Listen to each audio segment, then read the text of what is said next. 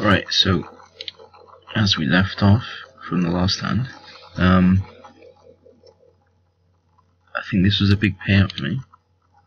I had King Jack of Hearts, and again, the aggressive guy who he read quite well in the last few hands earlier, who was bluffing, and he does.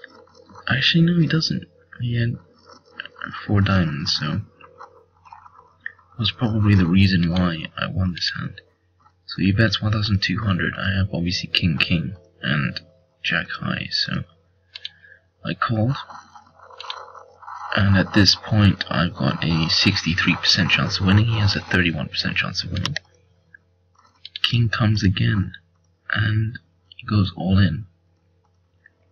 And in my head, I was just like, this guy is bluffing again, or trying to take a risk with something, because I've got three kings. It's very unlikely he's got a king, so I call, and luckily a diamond does not drop down, and I win the pot, and that gives me 11,000. Um, I'm on 12,000 total, basically. Do I play ace 9? No, I fold. Because at this point I think the blinds were getting quite high, 300, 600, and ace 9 of hearts is, is okay. I mean, you know, you've got hands like... I, I wouldn't have even won this as well. This guy had a pair of fours and he somehow won. So, 10-9, no. Oh shit, so what happened here?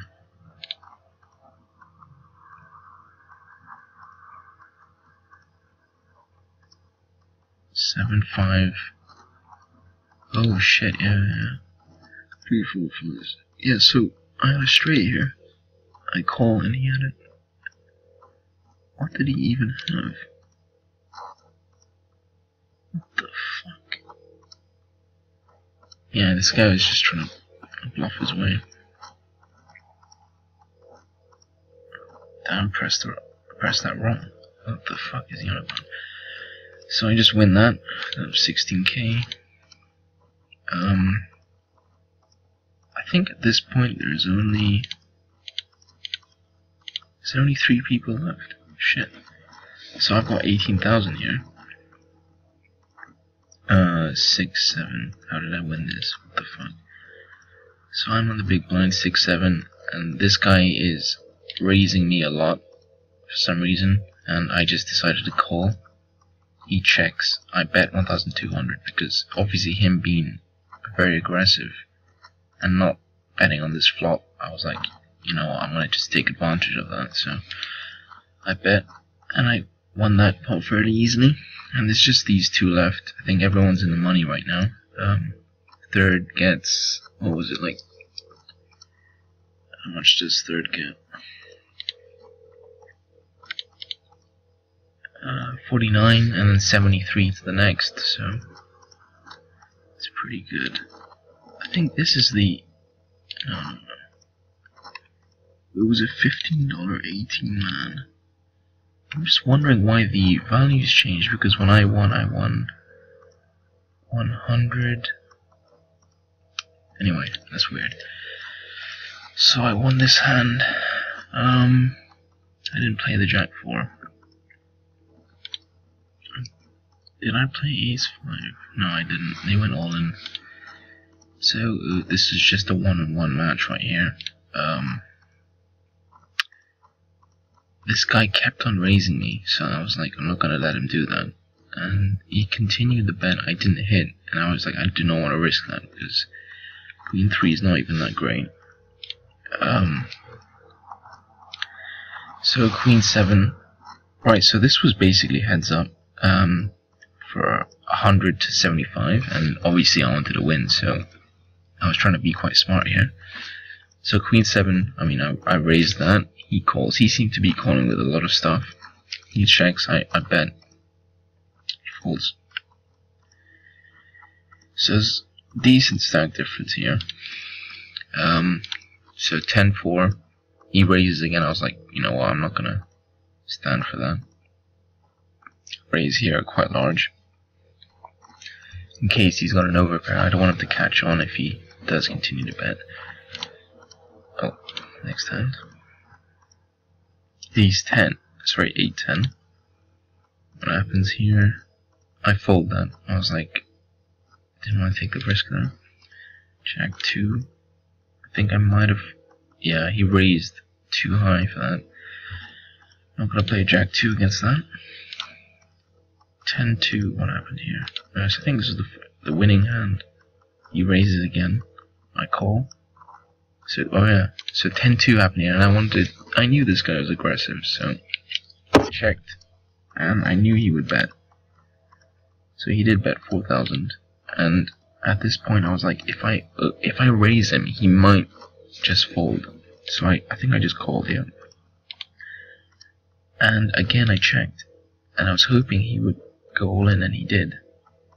And obviously, I won with two pair, and he just had an eight, and that was pretty much my tournament. And as you can see here, he comes in second with 75 yeah, I'm not sure why the values have changed because when I played it, when I just showed earlier, um, over here,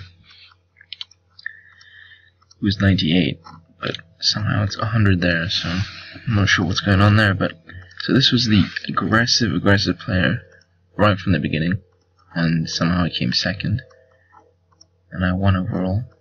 So, I think I'm slowly learning um, to be better.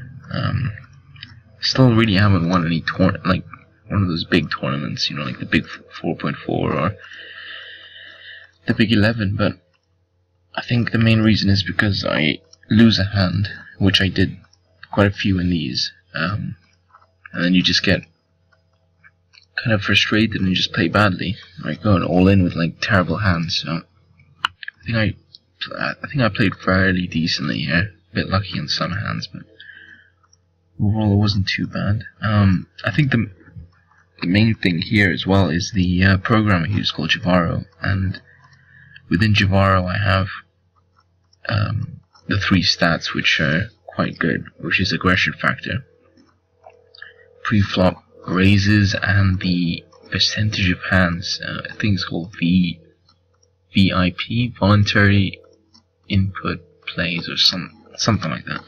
That tells you how many hands they've played. So obviously, if they're opening a lot, just like this guy, I think this guy had fairly high um, amount of hands played, and his aggression factor was also very high as well. So, um, if he kept on raising, I was just like, "What? This? I don't even know what kind of hands he's got." And he raised this, and he had a eight-seven. You know, so, so and overall, you know, like I just played better than this guy as well. So I think that's pretty much it. Um, if there's anything you guys want to know, um, I mean, like I'm not I'm not a great player, but if you need anything, just drop a comment, guys. Thanks.